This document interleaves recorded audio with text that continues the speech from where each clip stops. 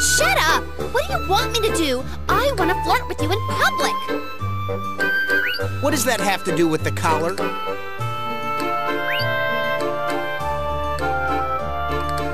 Lady Cloche is here too! Greetings, Lady Cloche. I didn't expect to see you here.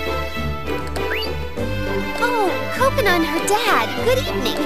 You guys are here too, huh? Well, Cocona begged me to bring her. Well, Dad said he wanted to sleep through the festival. That super sucks.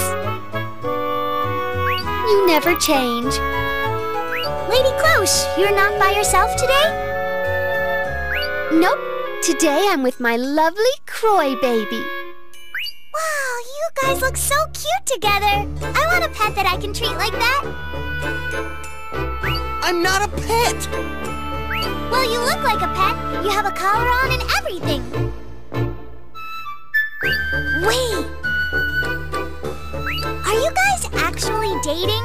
And today you're just playing the pet game? No, no. He's my pet.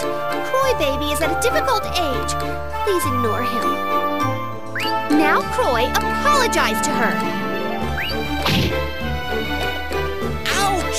You don't need to hit me. You're supposed to act like a pet in front of people. I just told you that a second ago.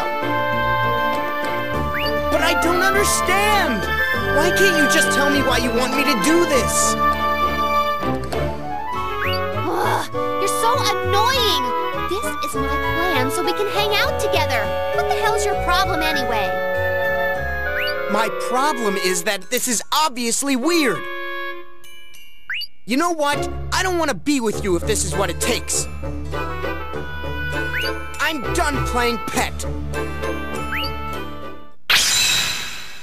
No! The leash! Your collar broke! If I'm gonna go on a date with you, we're gonna do it right. Huh? So he is your boyfriend? No, that's not true! Stupid Croix, what do you think you're doing? Lady Cloche, when did you... What a surprise! Lady Cloche has a boyfriend! No, no, no! He's not my boyfriend! Calm down. I hate you! I hate you! I hate you! I hate you, Croix! Just calm down. Whoa! Don't touch me! Go away!